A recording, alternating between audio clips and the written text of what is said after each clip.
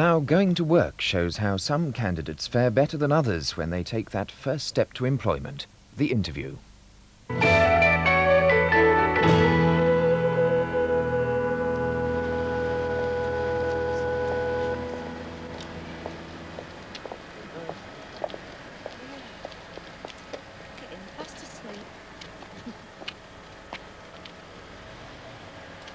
well, I better get in, I suppose. Want to make an early start my first day. Yeah, I'll get Jason round to my mum's. She doesn't mind having him. Oh, no, I reckon she'll be pleased with the chance. Okay, bye. Oh, good luck with the interview. Good luck with the temping.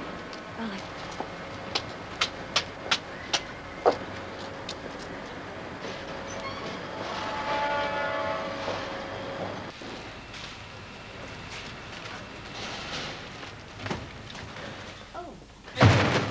The hell are you? I'm Kay Mansfield, the new temp. What do you think you're doing?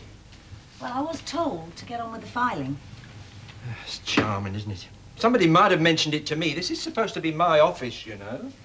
I'm sorry. What would you like me to do, Mr. Prentice? Uh, you'd better get on with it. I suppose you've got your own system. I've had three temps in the last two months, all doing things different ways. I never know where I am. It is all labelled and indexed. It had better be. You girls only stay a few weeks. Me, I'm stuck with it. Look, Mr. Prentice, I don't know what sort of people you've had working here lately, but when I do something, I do it the best I can, so perhaps you could hold your complaints until I do something wrong. That's supposed to put me in my place, was it? Just a statement of fact, that's all. Very well, I'll reserve my judgment until I've seen what you can do then. Thanks. Right, then, when you've finished that filing, you can uh, revise this driver's list. Perkins has broken his wrist, the stupid twit. You'll have to divide his deliveries between the other blokes. And don't go thinking you can just load them all onto one of them. There's regulations about the number of hours they can work. Yes, I know. I've read them up. Oh, have you now? Well, remember, this company is not made of money. We have to save fuel, so try to work out the most sensible routes. Do you think you can handle that? I'll do my best. Supposed to be the organiser's job, but I don't know when we'll be seeing her again. Is she off sick too? Oh, that's a sore point with me, that. You know, you lot are always going on about equal opportunities. Well, that may be fair enough when it comes to pay and conditions, but you never hear of a bloke being given three months maternity leave, do you? I suppose you're another one who's just filling in time till you can start a family, eh? No, actually, uh, I had a baby a couple of months ago. My husband lost his job, so I'm doing a bit of temping to bring some money in till he finds another. Oh. Oh, well, I'm sorry about that. It's a rotten thing to happen to a bloke, that. It's a rotten thing to happen to anyone, Mr. Prentice. Look, uh, you fancy a coffee? This is a lot better than that muck you get out the machine. Thanks. I'd love one.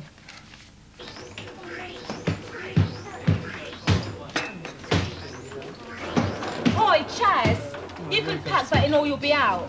Ten nudges it said, and I only got eight. Don't worry about him, Claudia. Can't add up anyway. I would have got the jackpot. You'd only put it back in the machine again. Look, are any of you going to buy anything? Mr. Gorman will go spare. I mean, the place has been crowded out all morning and there's only a few quid in the till. Here, you can buy us a cup of tea if you like, Claudia. After all, you are the only one that's earning. Yeah. Only till Saturday. I'm just part-time, holiday relief, that's all. Ah, shame. Oh, so you'll be in the same boat as the rest of us come next week, Claudia? Yeah, looks like it. I've got an interview. One of those traineeships at Newell and Booths. Oh, yeah, me too. Anyone know how many's going? Well, there's only three places left, and there's only six from our school and six from St Mary's. They'll probably get them. Brainy like they are. Got a few decent teachers, you know. Hey, mixing the money! Oh, well, I, I think it's three copies on Mick then. You what? Now, come on, don't be tight. Oh, God, here we are, last the big spenders. Why the flaming scoundrels you lot up? Here, anyone know what's it like? What? Newell and Booth. Yeah, it's a real dump. My brother did his scheme here, packing clothes in boxes. Good boy. Oh, look, you mustn't mind my Monday morning moans. Helps me get it out of my system. I'll try and remember that in future. Yes, I wish you were staying with us a bit longer. And do with a few more like you. A fair day's work for a fair day's pay. That's what I was brought up to. Nobody seems to believe in that anymore. Maybe you don't give him a chance. Oh, you could be right. Anyway, I've got to interview for that new batch of trainees tomorrow, and I'm not looking forward to that, I can tell you. How many have you got to choose from? They're sending a dozen. Oh, I dare say one or two of them might be keen enough, but when you can only give them five minutes apiece, it's hard to pick out who's the best of the bunch. Down to first impressions as much as anything. And asking the right questions. Yeah. Uh, look, uh, I might ask you to sit uh, sit in on the interviews, take a few notes. Oh, I reckon I might be grateful for a bit of advice and all.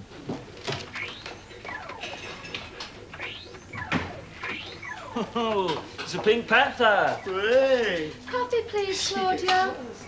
What have you done to your hair? Like it? Yeah, I suppose so. Takes a bit of getting used to, though. Oh, I won't keep it that long, really.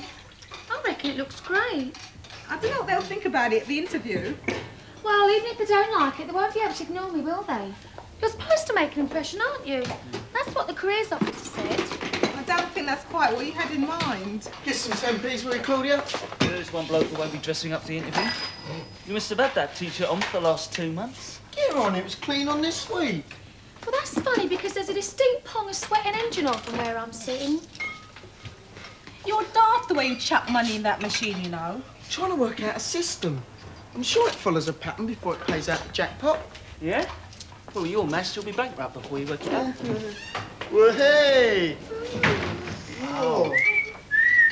If anyone says anything, I'll flatten them. Where'd you nick that from, Winston? It is Winston, isn't it? It's nearly strangling me. What made me wear it? She's dead keen for me to do well at that interview. Suppose your younger brother will be going on one of these schemes. Oh, I don't know. Well, there's a guaranteed place by Christmas if you're 16. Yeah, but Eddie reckons it's just cheap labour. Wants to get himself a proper job. Yeah, well, there's not a lot of those about. I think he's just finding that out. They're not all roses for the employer, you know, these schemes. But the government pays for everything, though, don't they? Oh, yeah, there'll be some who make a profit, I know, but uh, me and Mr. Newell worked it out. Newell and Booth will end up subsidising this scheme. How's that? Well, we're taking on a lot of kids.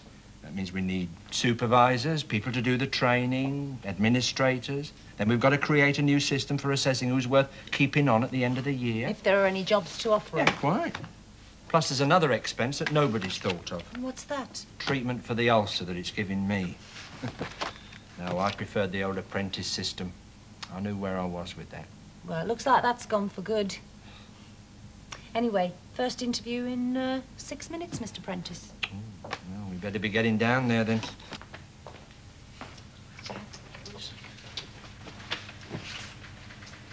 You're first, aren't you? Yeah. Hello, I'm Claudia Richardson.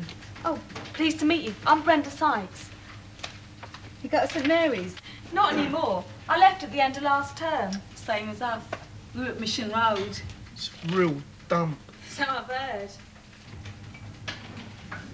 I hate interviews, don't you? I always remember things I should have said after I come out. We used to do mock interviews in class. That helps a bit. There's some questions they always seem to ask. Good morning. Morning, miss. Could we see uh, Brenda Sykes first, please? That's me, miss. This way. Good luck. Thanks.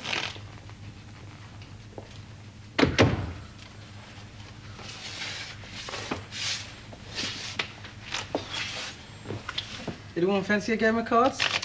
Winston. Yes, yes. Well, your academic record is not too good, is it, Brenda? Of course, we're not looking for geniuses, but you'll need to write out order forms, make up invoices, add up figures. Oh, I can do that. I'm not thick, you know. Oh, no, no, I'm sure you're not. Uh, I just don't like exams. I've never been any good at them. I get on well with people, though.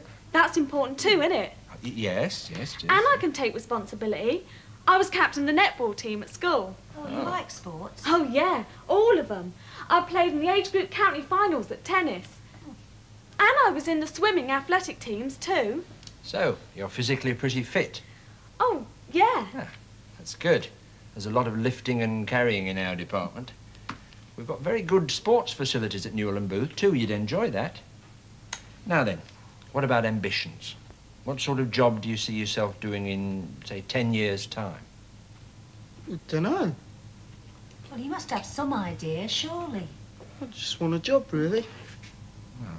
Do you have any special aptitudes? I...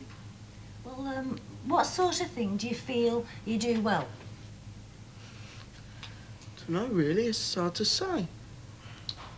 Well, tell us about your interests then. What, what kind of things you do in your spare time? All sorts. Perhaps you could give us a few examples. I watch a bit of telly. Ah, good. What kind of programs? All sorts. Anything else? Don't know, really. Look, um, I know these interviews are a bit of an ordeal, but um, we're really just trying to find out about you, that's all. And But we can't do that if you don't tell us anything. Yes, miss. So, let us get back to aptitude. What have you done in the last year or so that you're really pleased with? Don't know, really. What makes you think you'd like to work here? Well, one of your personnel people gave a talk at our school, and, well, he made it all sound quite interesting. And the fact that he came at all shows that you want to recruit locally. Y- Yes, it's company policy. Yeah, he said. Uh, he arranged for us to have a look around the factory too. I like the idea that we get to work in different departments. I suppose it helps you to find out what we're good at, and uh, it helps us to choose where we'd like to work if we're kept on at the end of the year. Hmm. So, so what interests you most? Oh, maintenance at the moment. But that might change after I've been here a while. I'm always tinkering about with bits of machinery at home. Yes, well, of course, uh, if we do keep you on at the end of the year, there's no guarantee which department you work in. Yeah, I know. Yes, and some of the work here is boring and repetitive. I've got a holiday job in a cafe at the moment. A lot of people think that's boring, but I'm quite enjoying it. Ah. So, how about uh, qualifications? Uh, I've got passes in art, needlework and dress. Ah, so your interests are on the artistic side. hmm? I like clothes, yeah. Oh, well, you should enjoy working here then. Oh, I don't mean your sort of gear. Oh, no offence, but I mean, it is a bit out of date. Yes, well, we're not into fashion, of course. We're a different end of the market, you see. Did you design the outfit you're wearing? Yeah, it's just bits and pieces, really. But you put it all together. Certainly very unusual. Jumble sale stuff, mainly. Do you go to a lot of jumble sales? Well, depends what I'm looking for, really. Some are real drag. You get these old dudes, you know, you wouldn't think butter would melt in their mouths, but they're not you over walking stick stop you getting a blouse they fancy. Still, I like wearing lots of different clothes. Besides, I can't afford to do it any other way. Yes, well, I, I think we are uh, drifting a little off the subject. Now, which department here uh, interests you, uh, Laura? Um, Have you had any work experience at all? I used to do a paper round. I suppose that's work experience, isn't it? Oh, yes, yes. I did one myself when I was a boy. At least it shows you can get up in the mornings. Well, if I don't, my mum turfs me out of bed, so that's no problem. you come from a big family? There's six of us. I got four brothers and a sister. I'm the youngest. Ah. I suppose that means they spoil you if you're the baby of the family, eh? No way! I'm the one who gets lumbered with all the jobs around the house. They're all bigger than me, you see, so I can't argue. Yes. I mean, that's like work experience too. Making breakfast for all that lot. And it's always muggins here who gets stuck with the washing up. So, how much do you know about the youth training scheme? Well, there's a lot of different schemes, isn't there? They can call them what they like, I suppose. They all come to the same thing in the end. Mm-hmm. It's the way I keep myself off the streets, really. Yes, well, I'm not sure the manpower services would agree with you. Now, you know you'd be required to do 13 weeks further education while you're with us. Oh, no, I thought I was finished with schoolwork. I was glad to see the back of the place. it probably felt the same about me. There'll be some literacy, numeracy, understanding computers, but a lot of the course is what is known as life skills. Well, what's that when it's at home? Well, it's partly to do with getting along with people. Your workmates, for example. And there'll be some things like uh, budgeting, taxation, insurance. Newell and Booth, they're part of a group of local employers who set up their own scheme within the YTS. Yeah, yeah, well, I can already read, write, and add up. And I seem to get on with people okay. Look, lad, nobody owes you a living. We can only help you if you let us. I never asked anyone to help me. I just want a job. If you give me a chance, I'll work hard. Honest, I will. Yes, well, I'm glad to hear that. All right, Nick. How'd you get on then? Oh, we're all nice soon enough. Probably sorted out now. Yes, well, I didn't reckon much to any of that lot. They seemed a pretty average bunch to me. Some good, some bad, most of them in between. Bring your chair round. Well, we've only got three places to fill, so I think we can agree on who to chuck out first. Who did you have in mind? Let me see. Uh, Charles Stevens. He didn't impress me at all. How did you get on, Chaz? All right. I reckon I did all right. I answered all his questions, okay? No. He didn't have very much to say for himself. Might be all right underneath, but if he doesn't say anything, then there's no way you can take a chance. Then there was uh, Laura Gregory. Oh, I don't reckon I could survive a year of that bloke breathing down my neck. He was a real creep. I thought she was a real freak. Generation gap. I don't think I could cope with all that hair. It'll be a different colour next week. Yeah, it's probably even worse. I think you might be making a mistake. Well, you didn't like her, did you? Well, she seemed brighter than most of them. I mean, it might not be your idea of fashion, but it certainly took a lot of thought to put that outfit together. Oh, yes, but I mean, think of the impression she'll make on our customers. Oh, all right, we'll come back to her later. Now, uh, Claudia Richardson. Yeah, she seemed a good prospect. I bet you'd rather stay here if you got the chance, Claudia. No, not really. I mean, I don't want to be serving tea and washing up when I'm 40, do I? At least if I got into a big firm, I might have some prospects. Yeah, she was the only one who'd taken the trouble to find out about the firm. It's got to be a good sign. Yeah. And uh, Brenda Sykes seemed a bright girl. Lots of enthusiasm. He said they got a great sports club. I'd like that. And all those sports show that she's used to being part of a team. Yeah, it's easy to show enthusiasm for a 10-minute interview. Working here might be different. Well, that's the good thing about the YTS. Gives you a chance to see how they shape up over a year. What about Mick Dawes? How do you get on then, Mick? Well, I told him what I thought of the YTS. I don't see why I should pretend I think it's great when I don't. Can't blame me for telling the truth. I told him I work hard. That's what's important, isn't it?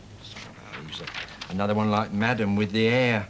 I was a good talker, I'll grant you, but I, I don't think I want to work with a kid who has a chip on his shoulder. Life's too short for all that moaning. He said he'd work hard. I think I believe him. Yes, well, I think uh, Laughing Boy, what's his name? Uh, Winston Barrett. Oh. He's a safer bet. He seemed a lot more cheerful. Probably tried to fit in a bit more. I went down a treat. I reckon he's got good taste. Oh, yeah.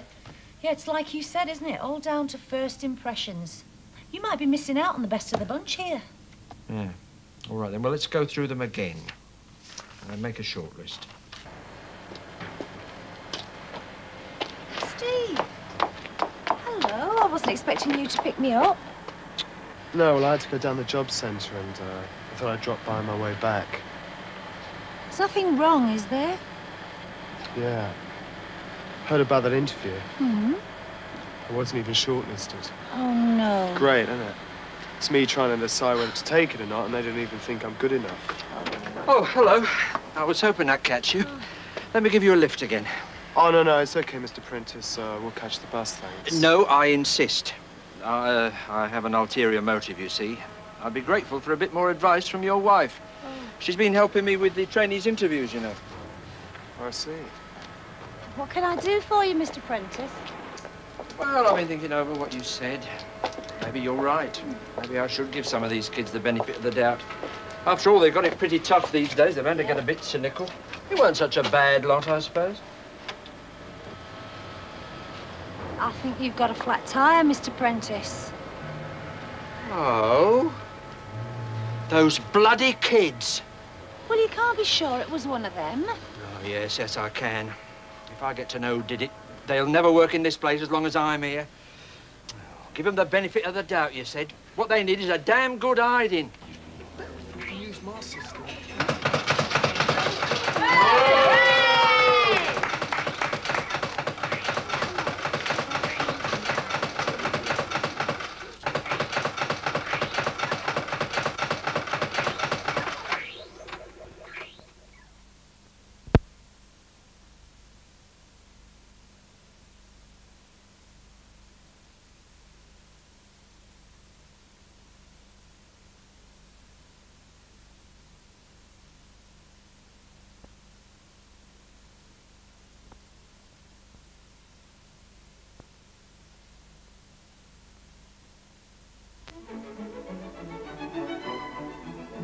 Next this morning, and